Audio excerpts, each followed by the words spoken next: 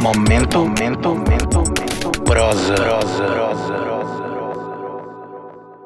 Olá, pessoal. Eu me chamo Lilian de Souza, sou atriz, diretora teatral, produtora cultural, contadora de histórias e mediadora de leitura.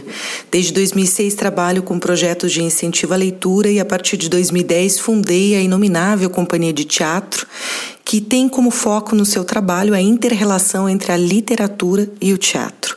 Hoje eu vou ler para vocês um trecho do conto chamado Festa Popular, contido no livro Culpa, do Fernand von Schirach, com tradução de Milton Camargo. Festa Popular.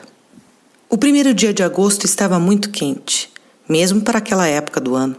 A cidadezinha festejava 600 anos de existência Havia no ar um cheiro de amêndoas tostadas e algodão doce, e a fumaça de fritura de carne gordurosa se impregnava nos cabelos. Não faltava nada do que sempre se vê em quermesses.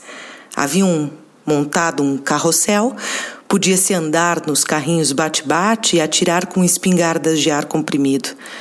Os mais velhos falavam de sol magnífico e dias de calor intenso.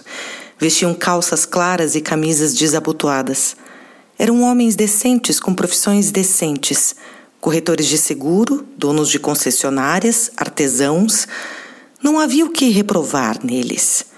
Eram quase todos casados, tinham filhos, pagavam os impostos e os empréstimos e à noite assistiam o telejornal.